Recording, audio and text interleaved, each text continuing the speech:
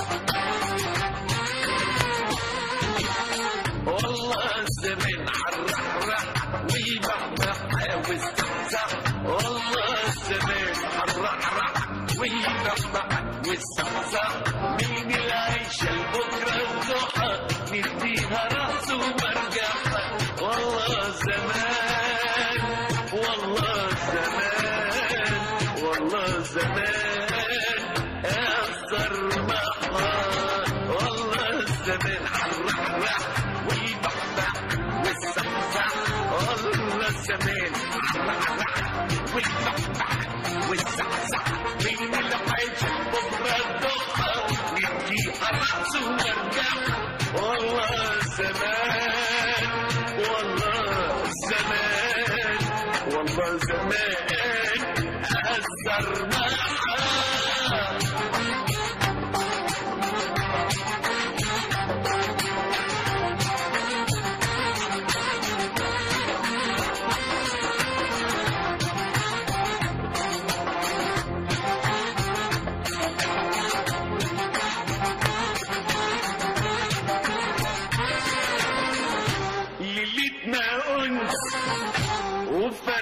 وفرفشة وشوشة وقرمشة ليلتنا عوي فرفشة وشوشة وقرمشة كفايانا أكلك ودخششة معسوكة حوجة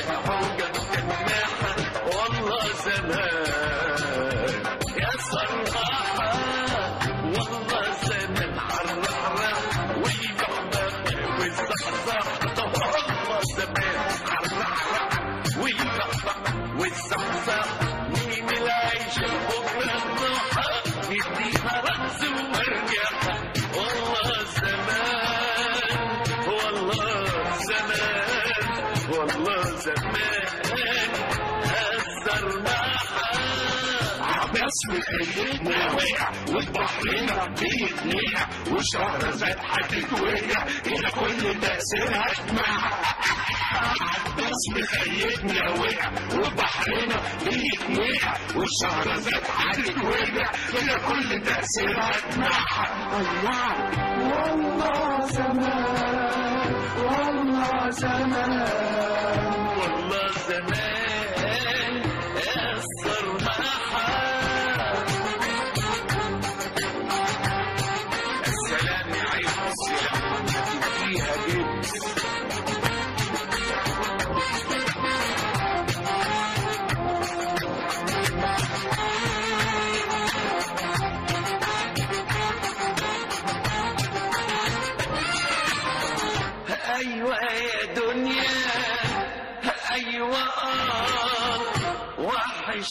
قوي طعم الحياة.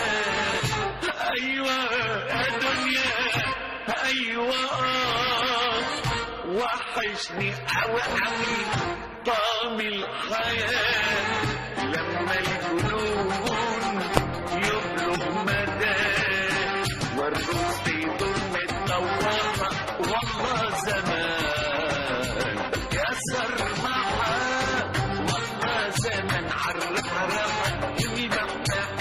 والمحنة والزقزق والله زمان عالرحرحة والمحنة والزقزق مين يعيش بكرة الضحى نديها رقص ونرجع والله زمان والله زمان والله زمان أكثر نهار والله زمان أكثر نهار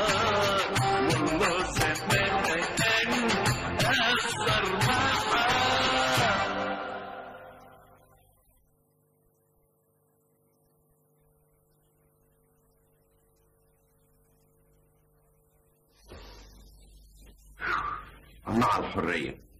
الجواز ده ضد الديمقراطية. غارت شهرزاد عند أمها. يا تقل دمها. كان مالي ما كنت في حالي. متهني بقلبي الخالي أوف. أنا مش مصدق. مش مصدق إن أنا هنام لوحدي على المخدع ده كله. مصدق إن أنا هعيش من غير بعبع شالوت أنت يا شالوت أمر مولانا المبسوط عارف يا شلوت الجواز ده أكبر شلوت فين الريموت؟ أهو. يلا شغل لي الفيديو وهات لي المنظرية قناة ستة وشهرزاد خدت استمارة ستة ما هي برضه طلقة واحدة باقينا لا طلاق ولا حاجة مفيش طلاق أنا حلفت عليها الليلة دي إنها تبات عند أمها. أنت فاكر إن أنا طلقتها؟ بس يا ريتني كنت عملتها. بس لا مؤاخذة مولاي يعني ما تأخذنيش يعني. مولاك بتحبك. أنت برضه هتقعد تجيب لي سيرتها يلا شغل الشريط فرجني شغل الريموت. أهو. تصبح على خير. ما عنديش مشاكل.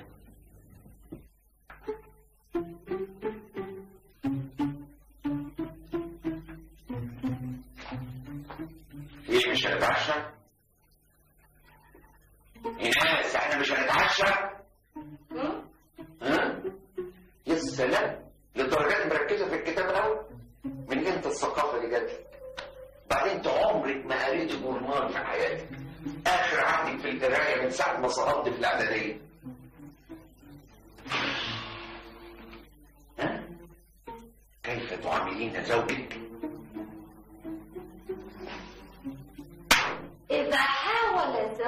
أن يسفه من رأيك أو يحط من قدرك أو سخر منك فقولي له.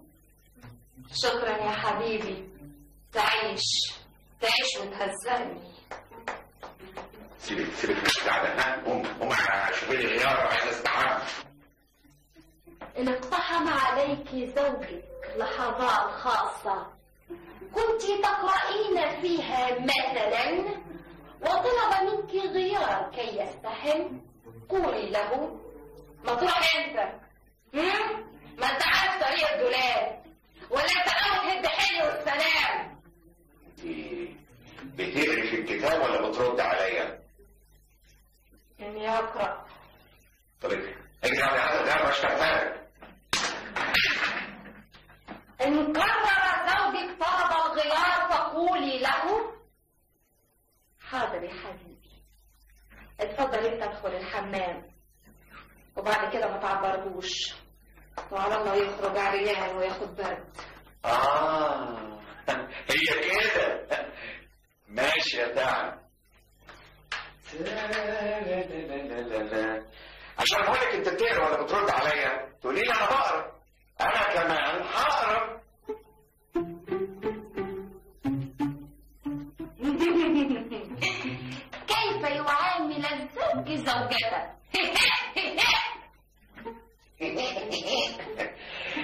لو كانت زوجتك بتقول لك يعني العوج فرصتين استدعي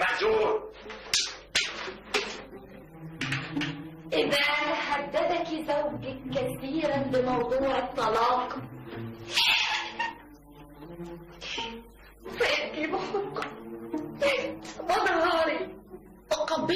قدميه لأن الرجل في هذه اللحظة سوف يحس بقوته الغبية وسوف يرى ضعفك وأنت تبكين متوسلة إليه. ألا يتركك؟ وهنا رجولته العبيطة سوف تظهر عليه ويحس بالقوة والعظمة وسوف يكون لك بمنتهى الغرور. خلاص قومي. بس المرة الجاية هتتطلقي يعني هتتطلقي فأنت بهذا التصرف حسستيه بقوته ورجولته التي ينتقدها من داخله من داخله كده من داخله إن اعتقدت زوجتك يوما أنك ضعيف أو مهزوز أو مجرد انها تحس إن عندك شوية نقص لازم تبحث عن كل عيوبها وتواجهها بها حتى تجعلها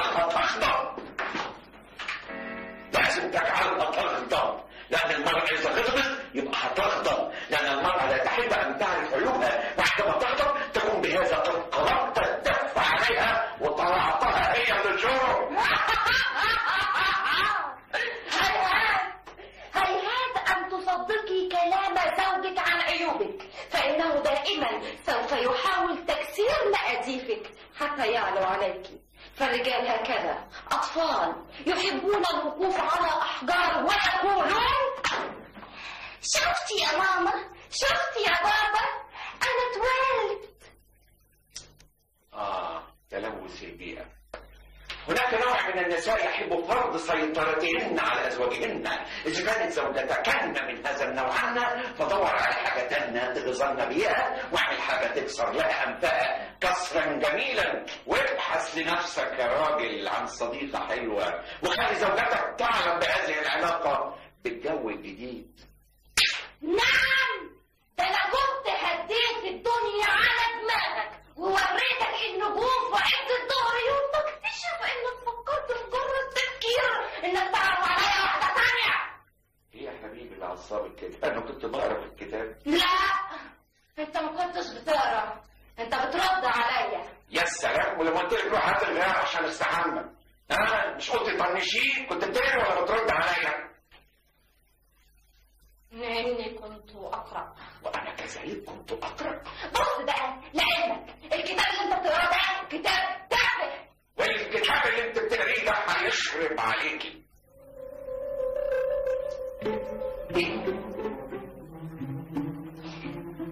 يخرب عليا. يعني إيه يعني هتطلقني لا لا. أرجوك أرجوك ما تطلقنيش. أنا ما أقدرش أعيش من غيرك لحظة واحدة. أنا خدمتك أنا خدمتك يا سيدي. ارحمني ارحمني ما تطلقنيش هضيع هضيع من غيرك. البنطلون من غير حزام الحزام اتسرق خلاص. خلاص. امسحي دموعك يا ايناس وقومي خزي يلا. آخر مرة أقول لك فيها. روحي هاتي لي الغيار وطنشيني. شفت. شفت. الكتاب جاب نتيجة العظمة طلعت على وشك أول ما حسيت إني نزلالك الكتاب صح. صح. أنا مش هسيبه أبدا.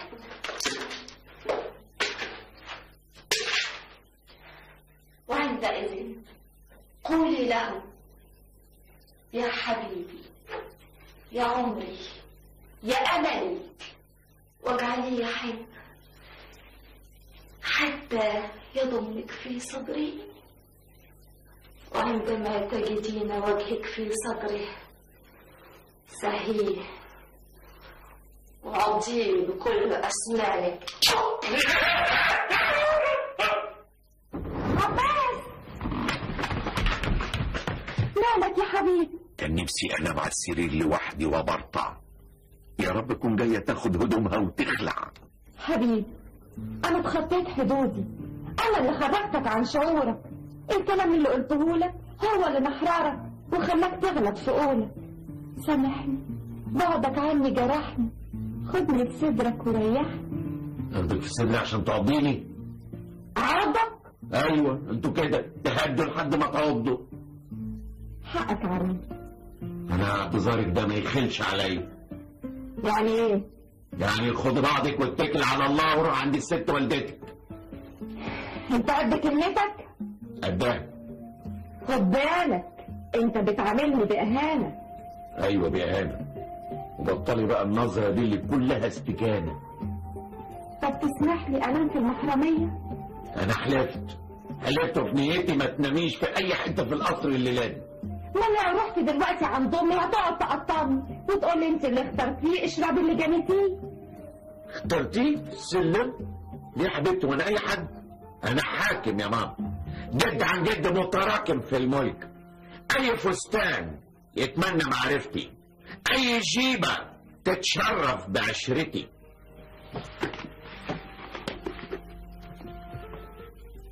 إذا تفخر عليك زوجك بحسبه ونسبه وراح يمن عليك بزواجه منك.